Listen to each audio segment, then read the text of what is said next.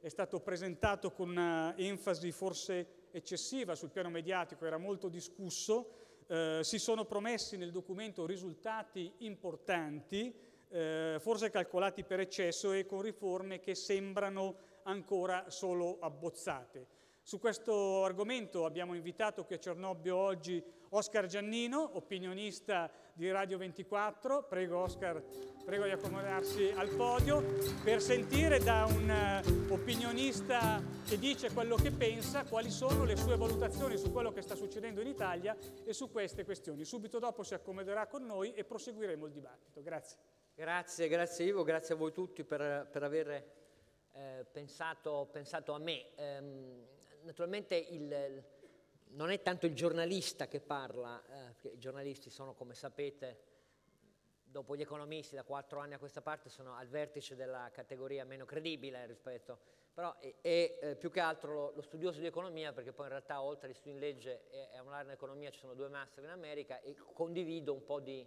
modelli e, e, criteri interpretativi con quelli con cui ho studiato e con, soprattutto con i professori con cui ho studiato. E diciamo che appartengo a una scuola minoritaria nel nostro paese, questo lo dichiaro subito in maniera tale che ci intendiamo su quello che sentirete dire da me e probabilmente a molti di voi potrebbe sembrare un po' singolare, la mia è una scuola monetarista, offertista, non sono uno statalista, non sono un keynesiano, eh, ergo potevo fare solo giornalista, non è che potevo andare all'università o fare qual qualche cos'altro. Allora, partiamo da questo decreto di cui Ivo eh, Ferraro prima di me ehm, ha accennato. Allora, io eh, insieme a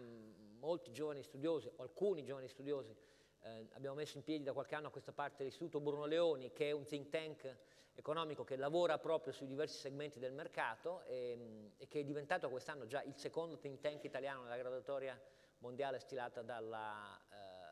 Philadelphia University, il secondo in Italia ovviamente, dopo, dopo lo IAI, eh, quello che si occupa di affari internazionali, quindi insomma io sono molto contento di questo. Noi facciamo da 11 anni a questa parte,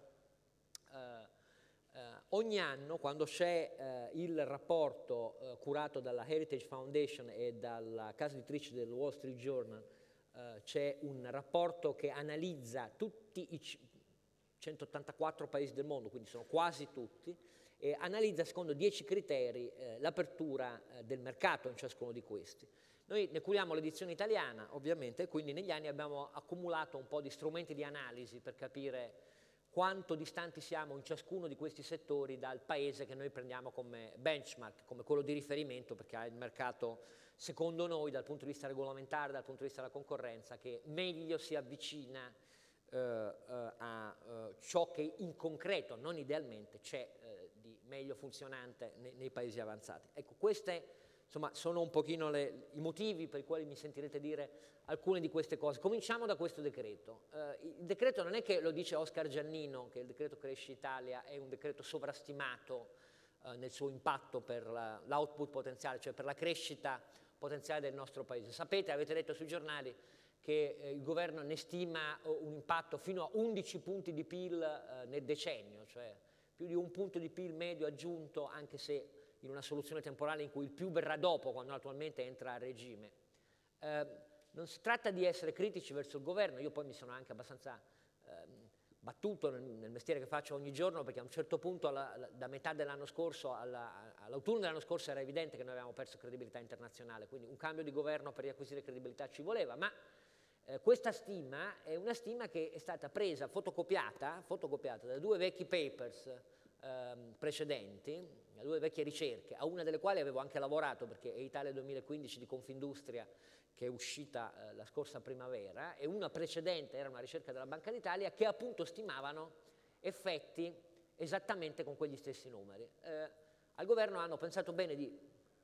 tagliare e incollare, mettere nella relazione dello stesso provvedimento. Peccato però che quella stima di output potenziale discendesse da un criterio molto diverso dalle misure che ci sono nel governo, cioè si diceva per ciascuno dei diversi campi che si indicavano, tanto da parte della Banca d'Italia quanto da parte di quella ricerca di Confindustria, si diceva se noi per, es per esempio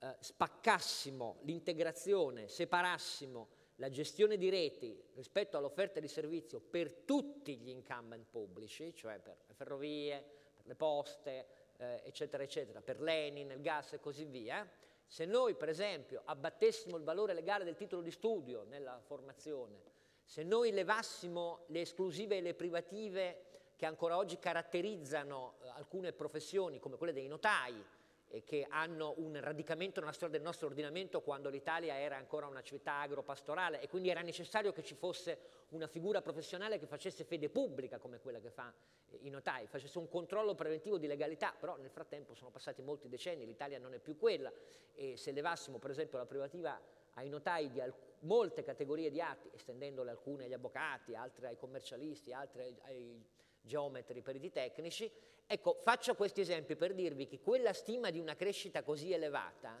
veniva da indicazioni che deliberatamente e volontariamente erano radicalmente all'opposto di come sono organizzati eh, i mercati italiani, un po' trasversalmente in tutto. E di lì veniva una stima di crescita potenzialmente così elevata. Se voi prendete quella stessa stima e la adattate invece alle misure del Cresci Italia è di quantomeno un esercizio che dal punto di vista econometrico ed economico è dal mio punto di vista molto condannabile, perché questo è un governo che giustamente si batte per avere criteri di credibilità eh, in sede internazionale e anche in sede italiana ed è giusto quindi che non ci deluda da questo punto di vista. Poi perché in realtà noi abbiamo articolato eh, parecchie, eh, parecchie critiche? Perché ci sono alcune cose nel decreto che dal punto di vista di chi è molto liberale e liberista e quindi ha l'impostazione che vi ho detto, non ho detto che bisogna condividerla, però la nostra impostazione sono buone, per esempio la decisione finalmente dopo molti anni di promesse di separare eh, Snam, Rete Gas dall'ENI, eh, poiché noi come consumatori, imprese e famiglie paghiamo questa integrazione verticale perché eh, paghiamo i diritti a lungo termine di contratti di approvvigionamento, si chiamano take or pay, assunti dall'ENI importatore che ce li fanno pagare perché l'ENI ce li fa pagare attraverso il controllo della rete. Però voi capite bene che disgiungendo una cosa è che l'importatore regga con le sue finanze i suoi profitti eh, i sovraccosti a lungo termine delle politiche di approvvigionamento dalla Russia o dall'Algeria. Altro conto è che le riversi con l'integrazione verticale della rete di distribuzione alle imprese e alle famiglie che consumano il gas. Quindi per questo è utile fare questa roba. In generale è utile di solito per gli ex incumbent pubblici separare le reti dall'offerta di servizio perché altrimenti tu metti sulla rete eh, dei sovraccosti che in realtà ti servono a economizzare nella struttura attraverso la quale tu gestisci i servizi. Ci sono delle cose da questo punto di vista buone, cioè quelle. Ce ne sono altre che eh, invece dal nostro punto di vista erano assai meno convincenti. Faccio degli esempi. Eh, nella, eh, in, in, alcuni settori il governo interviene separando, spezzando le integrazioni verticali di catene. Questo per esempio capita nelle assicurazioni. Voi avete letto che ehm, c'è un pregiudizio sfavorevole nei confronti eh, dell'agente assicurativo eh, monocommittente e quindi ci sono una serie di prescrizioni per le quali eh, l'agente assicurativo dovrà eh, fare più offerte concorrenti. Questo apparentemente eh, può servire a eh, immediatamente tradurre l'idea che quindi sarà più vantaggioso per il cliente, per il consumatore finale. Però attenzione perché la gente che deve diventare plurimandatario si deve dotare a quel punto a proprie spese di più piattaforme per fare delle eh, proposte al cliente e le proprie spese, siccome non possiamo immaginare che eh, la gente eh, abbia chissà quali margini per finanziarsele senza recuperarle, alla fine è al cliente finale che vanno. Quindi la mia idea è che bisogna fare più concorrenza senza entrare nello spezzare le, le catene verticali da questo punto di vista. Ah, un criterio abbastanza analogo si fa per esempio, si segue nella distribuzione dei carburanti, per cui ehm, per i gestori di, eh, di, di, di imprese, di, eh, di stazioni di servizio che non facciano parte integrante delle catene ma siano autonomamente titolari di licenza, si possono avvalere fino a una certa percentuale, eh, il 20%, di approvvigionamenti diversi dalla catena eh, alla quale appartengono. Attenzione che anche in, anche in, questo caso con ogni probabilità il costo marginale sarà quello più elevato, quindi non è detto che il costo aggiuntivo che questa eh, scelta eh, implica per il distributore si eh, traduca davvero in un minor costo eh, del carburante, in fasi nei quali sapete perfettamente, non devo dire a voi, che siete un anello essenziale nella catena della distribuzione tra la produzione e la grande distribuzione, quanto il costo del carburante stia diventando un fattore che butta fuori eh, dai margini precedenti e rischia di buttare fuori dal mercato eh, decine di migliaia eh, di, eh, di, piccole, di piccole imprese italiane. Quindi ci sono alcune cose che non ci convincono per niente. Quello che ci convince ancora meno è la scelta che in alcune parti del decreto si fa eh, in cui eh, non si liberalizza. Liberalizzare significa deregolamentare, semplificare, abbattere gli ostacoli all'ingresso in alcuni settori per figure che vogliono entrarci e non ci possono entrare. Questo dovrebbe significare liberalizzare. Non significa liberalizzare che lo Stato decida a tavolino come aumentare la pianificazione dell'offerta di una cosa che resta invece rinchiusa da privative, esattamente quello che si è fatto per i notai ed esattamente quello che si è fatto per le farmacie. Liberalizzare i notai significa quello che vi ho detto prima, che ci sono molte categorie di atti che aveva senso 50 anni fa lasciare alla privativa di un notaio, oggi bisogna aprirle alla possibilità che vengano offerti da altre figure professionali. Se lo Stato mi dice lascio il notaio così com'è e aumento a tavolino il numero dei notai, è ovvio che non sta liberalizzando, sta semplicemente aggiungendo il numero di coloro che avranno la firma più cara del mondo dopo quella di Picasso. Nel nostro paese funziona così, più o meno con i notai. E così via. C'è anche un articolo, di cui ovviamente eh, voi vi occupate molto, me ne sono occupato anch'io in trasmissione, che è un articolo che interviene esattamente nella catena della distribuzione eh, italiana. Io ci faccio solo un cenno perché magari ne parliamo dopo, l'articolo 62 eh, del decreto, non vi devo io illustrare quello che c'è scritto, nasce dalla volontà di tipizzare i contratti e dalla volontà prescrittiva che siano tutti iscritti eh, e nasce eh, con l'intento apprezzabile in un paese in cui il ritardo dei pagamenti è diventato una tragedia per tutti, eh, di fissare termini prescrittivi per i pagamenti. Naturalmente, da questo punto di vista, che lo Stato lo faccia nella catena della distribuzione, io capisco il Ministro che anche oggi è reintervenuto con grande energia attaccando la grande distribuzione e dicendo la grande distribuzione mi attacca perché vuole rimanere titolare del privilegio di pagare in ritardo chi vuole. E magari alcuni settori della grande distribuzione anche di far pagare non solo le merci che gli consegni, ma anche il diritto a ehm, poter distribuire attraverso di lui, perché sapete come funziona per alcuni pezzi della grande distribuzione. Vero è però che la mia opinione è che questo eh, settore fondamentale in un paese che ha da anni consumi flat stazionari o negativi eh, e in cui il problema dei margini e il problema della sussistenza necessaria per decine di migliaia di operatori, se noi pensiamo di tipizzarlo solo da una parte senza avere un'ottica complessiva di sistema, secondo me noi rischiamo di sbagliare complessivamente il bersaglio. Cioè io capisco che il politico sia mosso da un intento um, uh, apprezzabile, ma credo che l'effetto concreto uh, sia molto diverso da quello che il politico da quello che il politico si presuppone. Il problema del ritardo dei pagamenti, scusatemi se faccio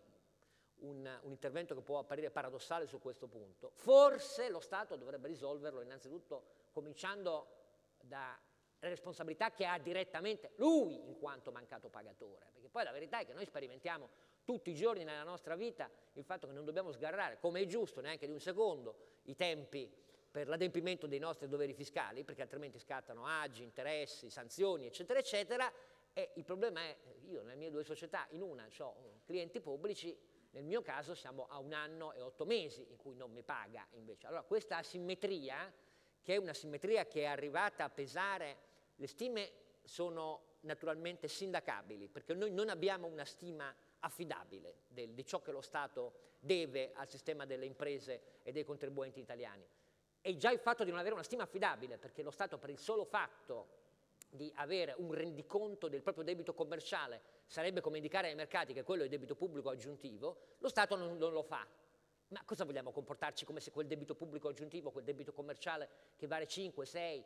forse fino a 7 punti di PIL non c'è? Perché per il momento lo Stato sta facendo così. Nel decreto, e questo io lo apprezzo molto, c'è stato un primo passo avanti sul pagamento eh, dei debiti pubblici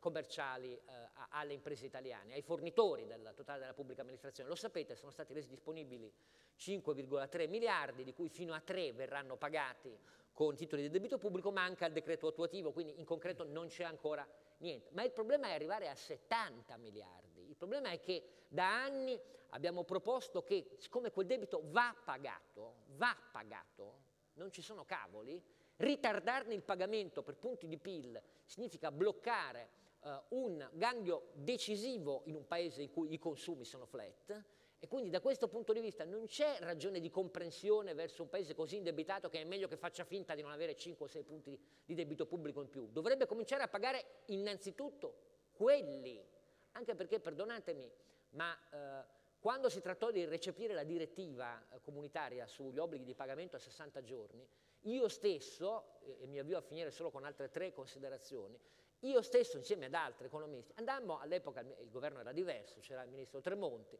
andammo a illustrare i termini della possibilità di contrattare in sede Eurostat e in sede di Consiglio europeo, perché la cosa non riguardava solo l'Italia, ma riguardava tutti i paesi eh, in cui eh, paesi che avevano alto debito ed erano esposti alla danza degli spread tendevano a comportarsi tutti nello stesso modo, non c'è solo l'Italia, anche se l'Italia è quella che oramai ha una posizione record nei propri debiti non pagati, e illustriamo la possibilità di adottare una convergenza politica che poteva passare all'interno del Consiglio europeo per cui si recepiva la direttiva, la si iniziava immediatamente a rispettare, cioè lo Stato iniziava a pagare davvero tutti i suoi debiti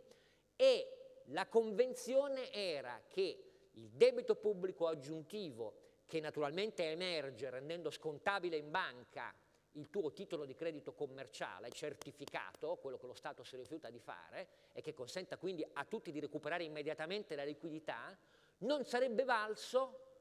per questa componente emersa di anno in anno per il rispetto del patto di convergenza europea che poi è diventato il fiscal compact firmato da poco. La possibilità per farlo c'era. Semplicemente l'Italia, il governo di allora, rifiutò di farlo perché dice no, ci esponiamo a una pessima figura. Ma qual è la pessima figura? Tu il debito ce l'hai contratto. Com'è possibile che nei confronti delle imprese chiedi immediatamente tutto quello che ti si deve ed è giusto e dall'altra parte l'esempio che dai al mercato è quello di non rispettare la regola perché asimmetricamente dici che il tuo debito non c'è. Ecco, allora questo è quello che secondo me eh, resta da fare da questo punto di vista. Resta da fare tantissimo però. E, è meglio che tutti quanti entriamo in un ordine di idee. Un paese che fa il 70, l'80% della sua crescita potenziale a breve solo dall'export industriale, come è diventata sempre di più l'Italia in questi anni, cioè in cui la componente della domanda interna e dei consumi ha un apporto così trascurabile rispetto al, PIL e alla crescita potenziale del PIL, siamo esattamente nella condizione opposta degli Stati Uniti, che tradizionalmente additiamo come un PIL che per due terzi dipende dai consumi interni, solo per il resto dalle eh, posizioni sull'estero, ecco, un paese che è in queste condizioni, che è diventato il detonatore possibile dell'esplosione dell'euro. Grazie al cielo pare che siamo riusciti, sia riuscito a sventare questo rischio, perché l'Europa ha iniziato a ragionare diversamente, la buona notizia di oggi è che l'accordo in Grecia c'è stato, gli spread eh, hanno iniziato a scendere, ma è comunque un paese che ha un quadro di fronte a sé di finanza pubblica molto stretta per molti anni. In un paese così, o noi siamo convinti davvero di credere, di affidare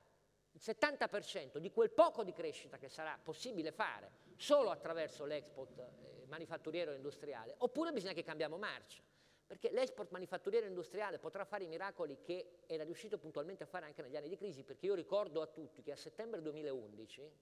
prima cioè che arrivasse sull'economia reale l'effetto dell'eurocrisi e che l'euro potesse esplodere, che è riesploso da luglio in poi, e quindi c'è un certo ritardo temporale, ma a settembre 2011 la media di export italiano destagionalizzato era tornata a quella dell'aprile 2007, cioè 31,4 miliardi di euro di export mensile. Questo malgrado la crisi terribile del fine 2008-2009, eh, malgrado tutto quello che sappiamo della botta di disoccupazione, di necessità di ristrutturazione del sistema industriale italiano, però malgrado tutto questo un miracolo apprezzabile era avvenuto, perché il miracolo apprezzabile che si deve alle 5.000 imprese del quarto capitalismo di Mediobanca, alle 215.000 che esportano e alle 15.000 imprese che controllano almeno due branch in due paesi diversi dall'Italia. Ma se noi ci affidiamo come modello solo a questo,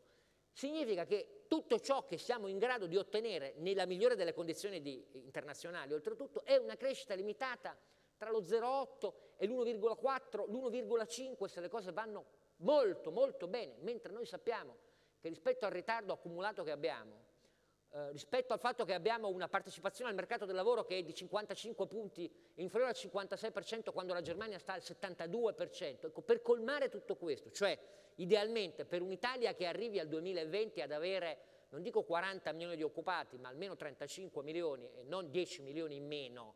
eh, come oggi, anche se poi con il nero bisogna metterne qualche milione in più. Per avere tutto quello noi dobbiamo radicalmente occuparci del problema della domanda interna, cioè dobbiamo radicalmente occuparci del problema di chi è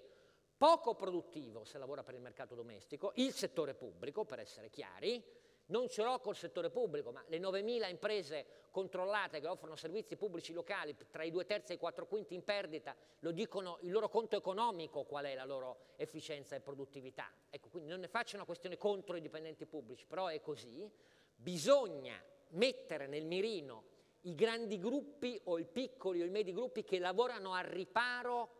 perché c'è anche questo nel mercato, di tariffe, prezzi, costi, gare truccate del settore pubblico, perché c'è un bel pezzo anche di impresa che si avvale eh, di, di, di tutoraggio improprio da parte della macchina pubblica, ma il problema è che bisogna fare respirare, incentivare fiscalmente dal punto di vista contributivo chi costituisce dalla parte più alta alla parte più bassa della catena distributiva la spina dorsale dei consumi italiani. Questo è esattamente quello che non si riesce mai a mettere al centro dell'agenda nazionale e ho concluso quindi semplicemente dicendo che da questo punto di vista, dopo tanta attenzione messa sulla finanza pubblica, che è sacrosanto, siamo, abbiamo solo cominciato con questo governo e bisognerà continuare con lo stesso eh, passo per anni,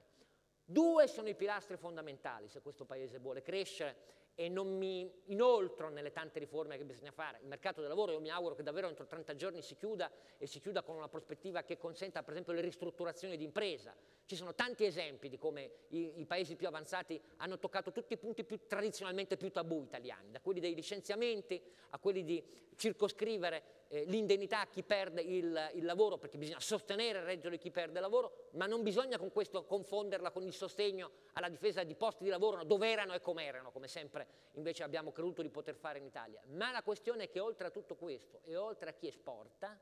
che bisogna aiutare, il problema è che quello che è mancato nel nostro paese, che manca ancora secondo me, è l'attenzione da dare alla domanda interna. Per essere chiari, perché la domanda interna si elevi di contributo all'output potenziale, noi abbiamo bisogno di più potere d'acquisto da parte di chi spende. E questo significa innanzitutto che il fisco e la parte contributiva deve mettersi una mano sulla coscienza e con la delega fiscale, il cui esercizio questo governo si è impegnato a fare entro pochi mesi, deve concentrare su meno tasse e contributi al lavoro, la possibilità di rimettere in tasca a chi altrimenti avrà sempre meno da comprare, perché in quel caso è soprattutto lo Stato che glielo leva. Punto numero uno. Punto numero due, ci sono le imprese che stanno nella catena di distribuzione. Io dico che quello che c'è nel decreto, e ho finito, secondo me è per il momento una cosa che aggredisce un problema, ma che non comprende la complessità di tutta la filiera, cioè delle grandi aziende produttrici, di chi fa trasformazione, di chi ha il metro, il controllo del mercato perché fa distribuzione tra la parte alta e la parte poi della grande distribuzione. Sapete meglio di me che cosa è avvenuto in questi anni? Che l'effetto, voglio dire, di crowding out è stato esercitato soprattutto da eh, chi ha in mano i grandi acquisti della grande distribuzione. Chiunque conosca il settore sa che è così, ma il problema è che se noi crediamo di risolvere questa questione solo tipizzando i contratti, secondo me noi sbagliamo. Lo Stato ha molte responsabilità prima di venire a dire però come bisogna scrivere i contratti, paghi i suoi debiti e levi molto del suo carico da parte di coloro che sono le più forti vittime, che sono quelli che prima ancora di capire quali prodotti ci sono sullo scaffale e se voi riuscite a portarglieli, la verità vera è che hanno meno soldi, sempre meno soldi per decidere cosa comprare. Grazie. Grazie Oscar. Farei accomodare Come abbiamo detto, opinioni assolutamente libere e eh, confronto di opinioni qui a Cernobbio come sempre. Farei accomodare i nostri ospiti, partirei da Paolo De Castro, che è già stato con noi, eh, dall'onorevole Gianni Letta, vicepresidente del partito Enrico Letta, pardon. È la forza dell'abitudine. Vicepresidente del Partito Democratico l'onorevole Bruno Tabacci, assessore al bilancio al Comune di Milano. E infine Sergio Veroli, presidente di Consumer Forum, l'associazione che raggruppa tutte le associazioni dei consumatori e anche il mondo delle imprese.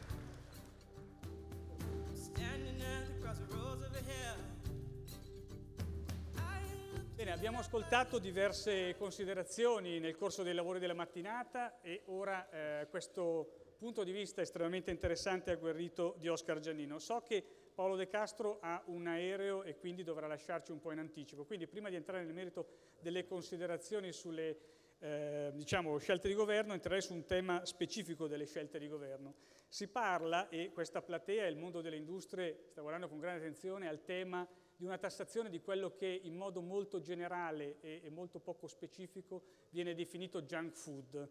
Eh, è un, un, provvedimento che fa discutere parecchio, che creerebbe grossissimi problemi non solo alle cosiddette merendine, giusto? Quindi qual è il suo punto di vista su questo tipo di intervento e di azione? Assolutamente contrario, per un motivo semplice, la ricerca di risorse finanziarie, specie per le regioni, eh, ha creato questo strano collegamento tra un'eventuale entrata fiscale